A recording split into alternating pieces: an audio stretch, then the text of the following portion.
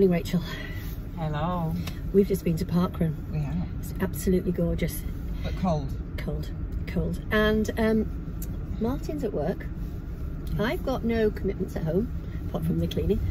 And um, not a commitment. I just sort of said to Rachel this morning, I've had a thought for the way home, you know. And she looked at me and said. No, but you guessed it, didn't you? You you got you guessed it straight away. Yes. You did. Yes. So she's gone round Parkrun totally excited and giddy because we And are going so fast. to get there even faster, but I didn't run any faster. We're going to go to Waltons. So, totally unexpected, looking totally grim, we are going to take you to Waltons. Yes, not been for ages. It must Uh, be at least four or five months. Yeah. And the reason that we are going to Waltons is really very straightforward is that Clumber Park lies just off the A1 and Waltons is in a little village called Goldthorpe which is off the A1. So a minor detour home. It's, it, it's easier to go now than to go at another As a time separate trip. as a separate trip. So I'm going to sign off and um, we will see you We'll see you at. Waltons. Bye.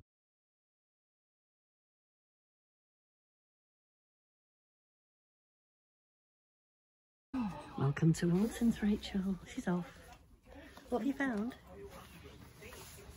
What's that, my dear? What have you found? I'm just, I'm just nosying. Just nosying. Oh my gosh. I'm taking a big deep breath before I do anything else. Are you? Yeah. Oh my gosh, it's so full. It's so full. It's so full. It's so full. It's so full. It's so full. It's so full. It's not that. It's all down here too.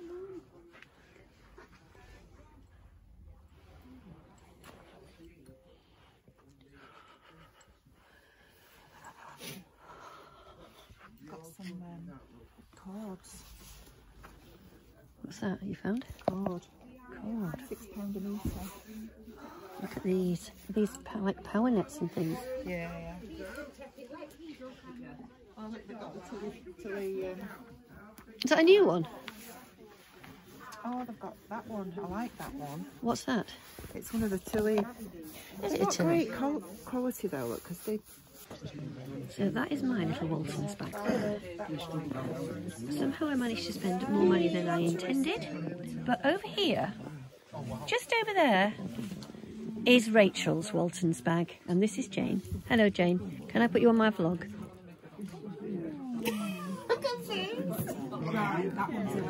Look at this. Diets.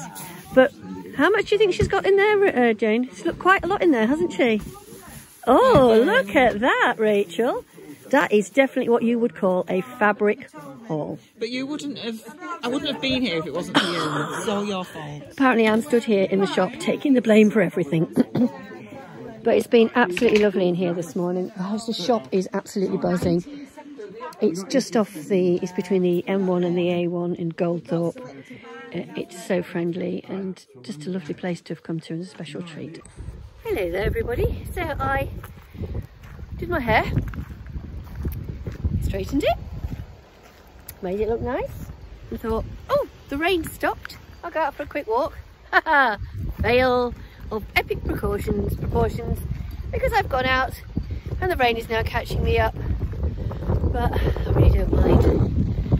Uh, it's only a very quick shower. I can see it going behind me. Can you see it? Uh, oops, there it is. It's going to sort of blow over fairly quickly. The puppy Maggie are in this field behind me. It's a great field because the dogs can just literally go bonkers. It's a, a rough field. Uh, it wouldn't be, it's not going to be long before one of them flushes out a deer or a hare. That's what usually happens and they're going to chase it. Poppy thinks she's a deer. She's going crazy at the moment. I'd love to be able to film her, but she's so far in the distance.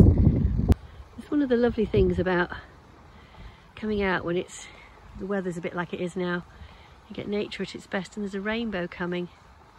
I'm just going to hold the camera still for a minute and see if we can see more and more of it. It's really good down there by the trees. I'll have a look on my... Oh, hold on a minute, I'm about to get mown down. Super fast dog. dogs going straight down. Are you going straight down? You know you're not. There's the rainbow coming.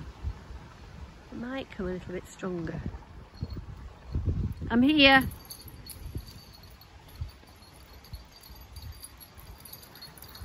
Water, water. The noise in the background is bird scarers because the farmers have planted their crops. So they have these bird scarers Scare the birds off from eating the seeds. You're going to go back in?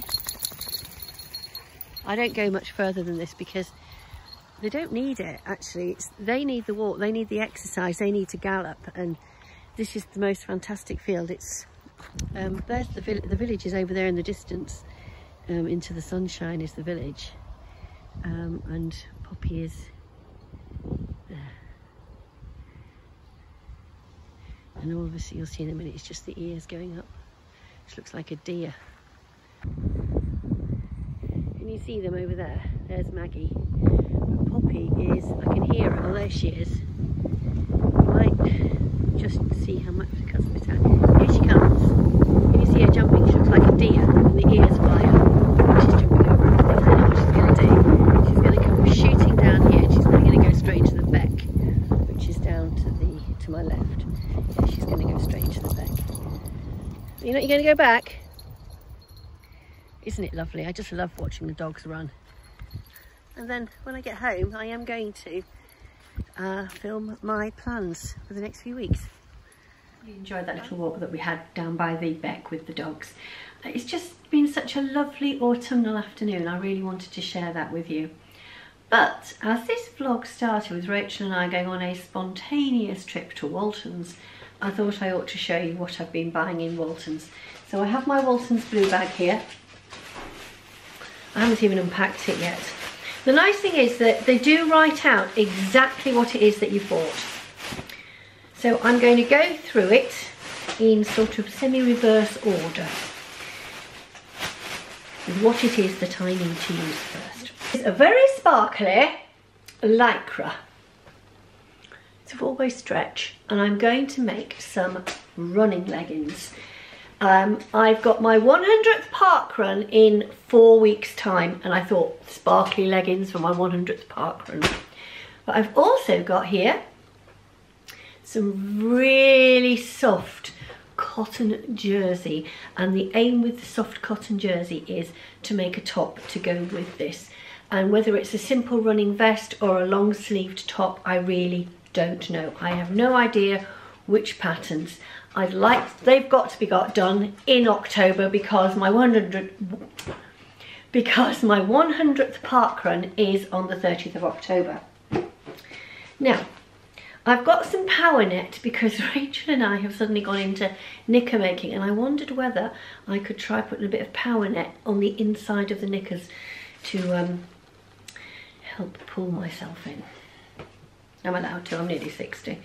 And I've also got, because they had the most amazing Christmas fabrics, look at this. Christmas lycra for Christmas running leggings. My son-in-law saw that yesterday and said he will be disowning me at Parkrun. Fine, I can wear it to school as well. Now, got some cotton jersey simply because it was there and it's a really pretty cotton jersey. It's floral. I'll probably get some kind of t-shirt out of it. I would like to do the Anne Kerdiles Sablon top. I'll put a picture in just there. It's the one I did for So Yellow Ferendo. It's beautiful and I could do that with it. I could do the Atelier Brunette Le Sweat with it in the t-shirt style, make it a little bit tighter. It would be lovely. But I think I might go for the Sablon top in that one. And I've got some jersey. Just to make knickers with a remnant just flower, sorry flower, just cloud jersey. There you go, really simple. And somewhere there should be knicker elastic. Knicker elastic is here. I have got more, I've got um, a cream picot edge. I've got this rather fancy one here, which I thought would be quite nice as well. I don't mind what colours go on what. Now the other thing I've got is some very nice silk and rayon taffeta. Uh, because I've suddenly decided orange suits me. I seem to be buying everything in corally orange peachy colours. It's got that on the other side now. Has anybody seen the challenge? It was on Instagram, something like Sew Your Birth Year, and I did show you these two patterns earlier. It's the Butterick 6318, and it claims to have been a 1961 pattern. I'm a 1961. I've also got this one, which I do like. This is Simplicity 8591, but it does claim to be early 60s. And look, there's the original. Can you see that? Is that not just beautiful? So I could make this top, but I think I'm going to go for the Butterick. And see this one here where you've got the contrasting on the waistband? So I thought I would do the dress in the orange but I can also have the contrast of the pink on the waistband there because it picks out the slub inside there. When you get to Walton's, as I showed you earlier on, it is an Aladdin's cave. It's got everything. Um, I've seen other vloggers. Jess put one about a fabric shop that her partner had taken her to, which was another Aladdin's cave. We keep going and going and going and finding all this beautiful fabric. And Walton's is located, for anybody that is interested or passing, if you're going north up the A1, you come off at junction 37, junction 37 and you take the A635 towards the village of Goldthorpe. And if you're on the M1, you come off towards Barnsley. I think you'll find it's the same A road, the 635, and it, it, it sits between the two. It's just an Aladdin's cave. There's no online presence for it. Um, I think there's a Facebook page, but don't quote me on that one. Rachel would put me right probably in the comments below. So I had already got some fabric to make the dress for my birthday, but I thought actually this is more appropriate because in the 1960s, in the early 60s, everything was still a bit bouffontaine, had structure, and the skirts were made out of these silky fabrics. And because it's got like a sticky outy skirt, I thought, hmm, this would be right. And it does actually say broadcloth, linen, gingham, linen and taffeta. So it's perfect, taffeta. I think this one might say taffeta as well. This one is Dupion. There's been a couple of new issues which I thought, ooh, I quite fancy that. Now the first thing I bought was, I bought something from a company called Sew Much Moor. I will put them in my description box this is Jess at Sew Much Moor and she's a small sewing business and I have bought Teardrops on Navy Soft Shell Showerproof Fleece. Now is that not just gorgeous? Now it's raincoat material and I've wanted to do a raincoat or a showerproof coat for quite some time but I've never seen this and I did see it on Instagram stories and you can see there I've got the light on that it's got a lovely fleece on the inside. Now, it's a I've never seen fabric like this come up on Instagram. I've seen it in shops and thought, oh, I don't need it now and I don't need it now, but I thought I really would like to make the coat, a coat with it. Now, I have got a pattern ready for it. I have bought the Criollo jacket by Maison Fauve because I just want to do things that are a little bit different. And as I mentioned uh, on my vlog for this Atelier Brunette top, I am doing French. I've got I've signed up to one of these apps that you can get. There's loads available. So I'm going to do this jacket. It does not require lining and this material does not require neatening. So it should be a fairly straightforward make and I'd like to try and make that this month simply because it's an exciting make to make. So that's one make. Two makes two makes because we've got the birthday make. Now, quick update, I mentioned to you that I called in at Bugweeds and I found there's this beautiful um, raspberry coloured or claret coloured needle cord and I'm going to make with that and again it'll be in the description box below the Coralie Bijasson Astrid jumpsuit and I'm going to take it over. Can you see those line drawings? I've got them close in focus. I'm just going to try and zoom in to see if it takes the whole screen watching that. I'm going to hold it there for a few seconds so that you can see it. There you go. I'm going to do this one here with the longer sleeves and I believe that that would be a beautiful make for work. That is probably going to be my next make but I'll explain why it's not a straightaway make. Now the other thing I want to do this month is to make another jumpsuit because on this birthday I'm being taken out, I believe, she says with all her fingers crossed, to the Ivy for brunch. My brother won't even tell me what's happening and he's usually quite good at telling me what's going on. So when Maison Fauve released their new fabric, I couldn't resist it, could I? There you go. It's just a viscose twill. It's gold and navy. It's hard to decide whether it's got a leopard print inspired design or floral because look there, I always thought that looked a bit floral but then you can see from a distance it could be a bit of a leopardy print one. Whatever it is, it's sophisticated and French. And on that note, I'm going to stop for a minute because my battery is flashing.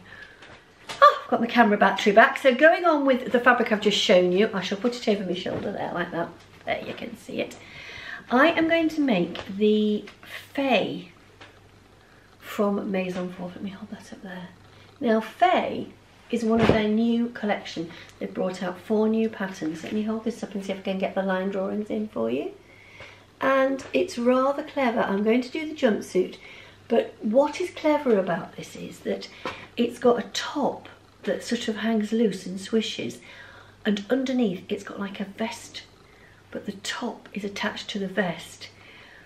So, and it hangs loose, so it's sort of like a loose layer over the top so it looks like it could be a blouse and trousers that you're wearing, but actually you're wearing an all-in-one. So I have brought that, but in this new collection that they've brought out, um, their, their instructions have changed. And I'm just going to turn it over to this last page here. And on one side, they're in English, On the other side, they're in French. So here, you're assembling your jupe pantalon and here you're assembling your trousers. So if you buy one of these patterns you can rest assured now that they're in English. I also know that some companies in the UK are stocking them. Fabric Godmother are um, selling them. I don't know if they're selling the new ones or whether they're selling the old ones. And there is another French pattern house that's doing a release very soon and that's Apolline Patterns.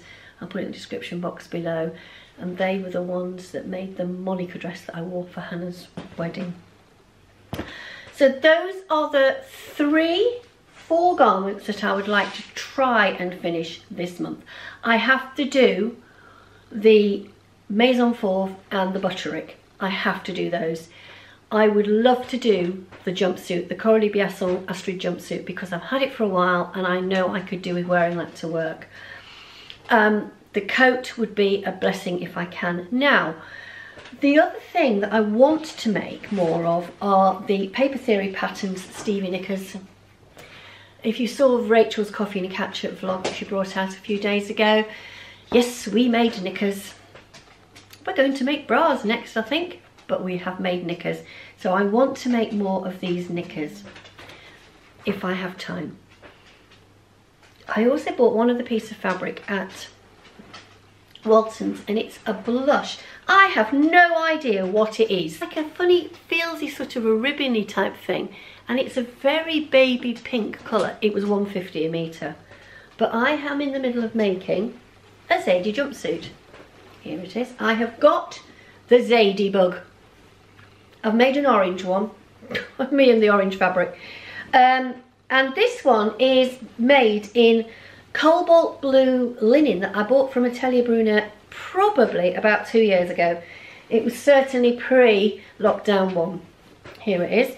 It's absolutely gorgeous and I bought some cobalt canopy, canopy binding to go around the edge because I bound the pockets and thought, oh, that looks rather nice. So I've bound it around the edge, but then I thought, I really want to wear it in the winter to school. Now I know I can put tights on underneath, but I can make um, a little sort of tank top, not a tank top, like a, a, a very simple woven top to go underneath it. And this, believe it or not, picks up virtually the blush colour. It matches it matches in quite well with that baby with that blue so that's another thing that I'd like to get done but it's not essential but before I start any of those projects I've got something else here next to me how many of us have got UFOs, unfinished objects? because I seem to gather them. And I've decided that before I do any of this lovely new sewing, I'm going to tackle these. And that day Zadie jumpsuit is going to be finished. That is tonight's job. I'm not going to finish it tonight when I get it it's set up, ready to go. Now I'm a bit of a devil when it comes to sewing because I will line up the jobs. I will sit in the living room and I will pin and tack a whole load of things and bring them back through to the sewing machine, whiz them through, then take them all back to prep the next bit. That's how I work, I'm mad, I know that. But I have got two Breton tops to finish. They're going to be finished. I've got a pair of flint culottes to finish. Next bag, that can go there my little blue plastic to do boxes.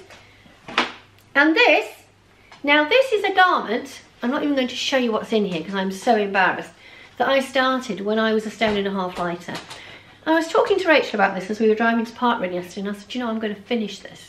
And I know it's not going to fit me. It's going to be a goal to get down to it. I'm going to finish it. Now my next vlog will be the UFOs because I really want to get those done. And my aim is to get the UFOs done by Thursday. That's my aim. I'm going to have to put a little bit of pressure on myself here because as we get closer to what we call our half-term winter break, autumn break, I will need to be making those two garments for the end of October. Three garments because I think I might have to make some running gear as well but I'm rather hoping that Rachel might help me out with that because I still am I think we all have our strengths in sewing and whilst I'm quite very comfortable to work with with knits my heart is really in the woven the hand sewing the fine dressmaking with the woven fabrics. But I am not going to be defeated with the stretches. And I'm much much happier working with stretch than I ever was. And I'm, the knickers not a problem. Tops like this not a problem. With the running gear I am hitting a bit of a brick wall with um, and it's a bit of a self challenge and there's nothing wrong with having a self challenge so as I tidy up the mess I've made that you can't see I'm going to say goodbye for now um, thank you ever so much for the wonderful comments that I get do if you've liked my vlog give me a like subscribe and I'm going to try and be a little bit more proactive. I've got a few other things that I want to need, well, that want to, that I need to get on with, and that is thinking forward towards Christmas makes, what I want to make for Christmas. I'm going to have to go a long way to beat last year's Vlogmas. I've got a couple of ideas. I've got a couple of ideas going around in my head.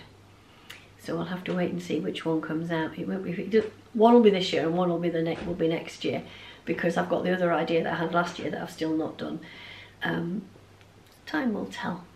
So for now, I'll see you all very soon and take care and have a lovely week. See you now. Bye bye.